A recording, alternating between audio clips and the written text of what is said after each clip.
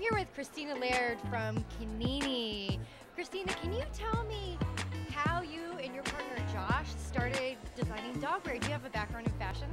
Yes, I do. Um, I graduated from Syracuse with a fashion degree, and I was in Manhattan for about three years designing for women's clothing.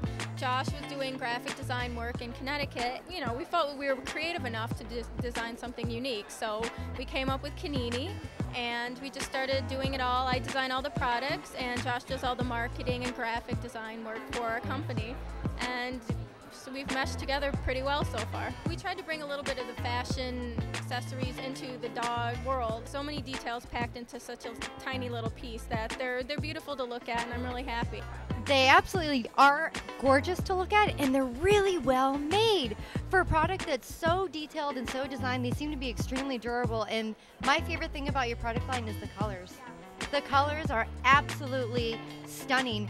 And do you plan on changing the colors with each season? Yeah, we originally wanted to do a seasonal thing, but our first line just took so long to, to finally get it out there that we just stuck with it for a while. We are going to be hopefully doing like a spring, summer, fall, winter line as things move forward and coming out with extensions. Like we want to extend in, into the like the beds and different products out there.